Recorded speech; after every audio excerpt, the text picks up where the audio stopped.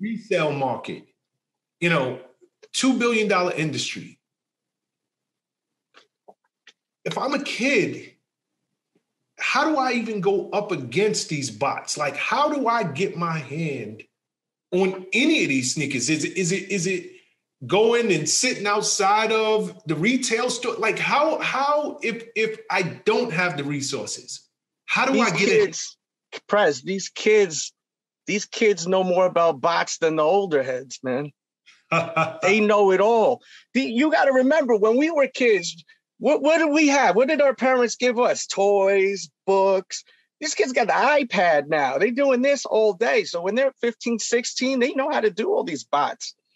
They know how to do all of this. I mean, my viewership goes from people that are 13 years old to 65 years old. And the young ones are the ones that are telling me, oh, I could hook you up with the bots. And then they, they I, I see their face and they're little children. I'm like, I can't take it, you know, I should take them serious, but I'm an adult. I'm not trying to deal with no kids, you know, but they know everything about these bots. It's it, the young, these young kids that are 15, 16, they're they're crushing it.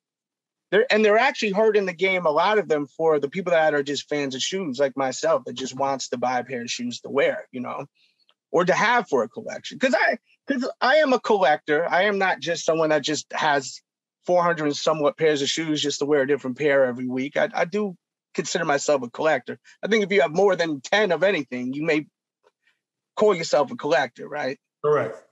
So. Okay, so if I'm trying to get into this business, uh give me give me some of the do's and the don'ts if I want to get into the resale business. The resale business you got to know you got to know what's hot first of all. You got to have your ear out there in, in the streets to know what's what people want you know? Because if you're just buying anything that's going to screw you over too. Because you're going to be buying stuff and it's going to be sitting and then you're going to have a whole bunch of inventory that's not moving. And and to me reselling ain't worth it unless you're going to make a couple of hundred dollars off a flip. Because there, there's people that are, that are like trying to get into it and, and they'll buy a pair of j's. Like there was a jordan one that just released. The the value of the resale was only worth about 250. The shoe cost 190. So how much money are you actually making after you box it up, ship it, all that stuff? You're making peanuts. I mean, not peanuts, but is it really worth it? It's You're only worth it. Your perspective. You're talking from your perspective. Yeah, you, this is my perspective. Yeah, yeah. but if you if you're uh, a teenager, if you're in your early 20s, or or if you're just doing this in terms of volume, all mm-hmm. of that adds up. Yeah. Yes. So you got to be wise with it. You got to know what pride. You got to really know this this game. Like you really got to know this game. Unless you got a plug, if you get made sizes through some store in the back, like back door in it, you know, and you you're able to get get get a full size run of something hot, then it's simple. And that's what a lot of people are doing. So that leads me to another question are retail stores are they a factor? If Shawn Prez right now, if I want to get something hot, you know, most of these kicks they're being sold online.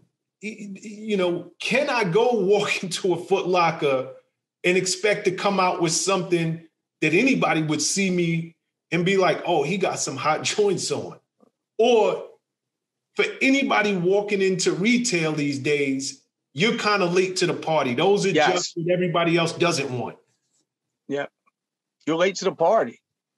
Unless, I mean, everything's crazy now. Like, if you want a sneaker at Foot Locker and if it's something popular or something hot, everything's done through app. App, these apps, they have the raffles. So you got to go to the Foot Locker app. You got to do a raffle. Sometimes I'll be forgetting to even do the raffle, you know. But I got plugs. People, people are running around. I mean, people hit me up. Yo, you missed out on that shoe. I got you. I got shoes coming in this week. Bunch of stuff that I, I wasn't able to get. So you know, people people look out for me, but you're not going to find much. Even a, even a white on white pair of Air Force Ones is hard to buy now. Believe it or not, like like just the clean ass white on white. And you know, we used to be able to eat buy these like ease. Correct. Just walk right in there. We buy two, three pairs, right? Now now it's not easy depending on what city you're from. I know some of the viewers or listeners may say, "Oh man, we got them at a." That's it depends on the city. Wow. Yeah. so for any again, you know, because this is you know just information that I think people should should know. If you're walking into a regular retailer, you're probably somebody who is either out of the loop or you're not in the business because you're just Foot Locker is not going to sell anything that's of value. Facts. I mean, you may be able to catch a clean pair of Air Maxes or something like that, you know, but anything that has that has a value of, of like as far as reselling, you're not going to catch nothing just walking into the store.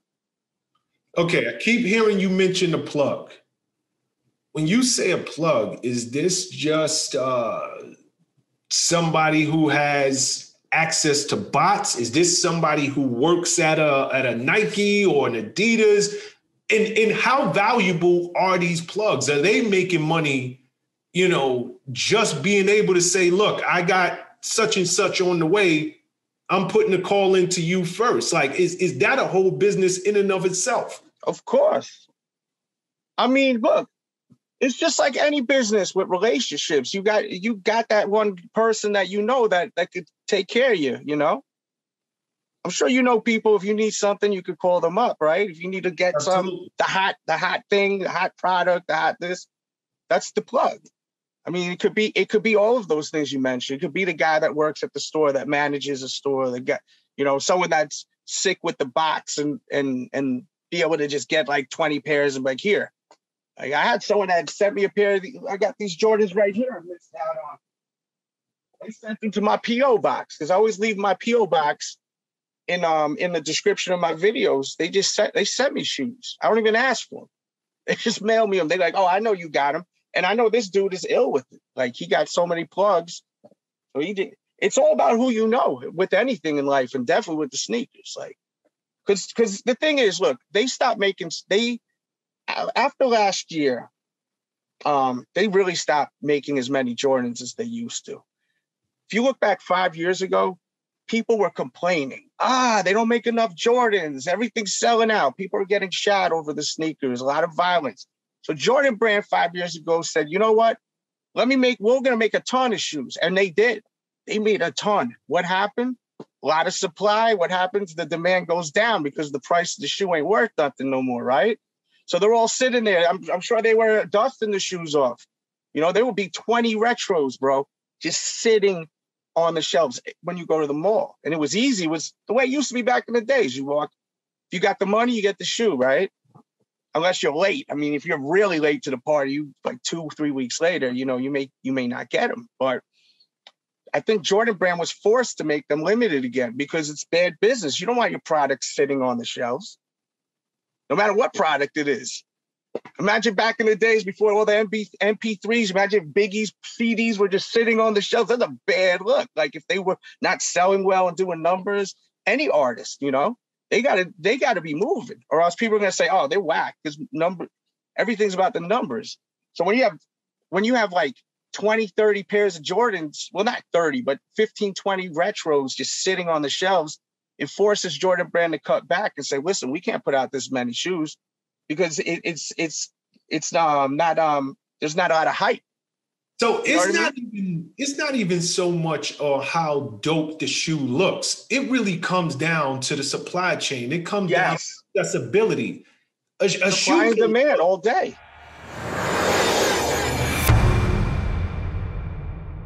What's up, guys? Thanks for sticking with me to the end of the video.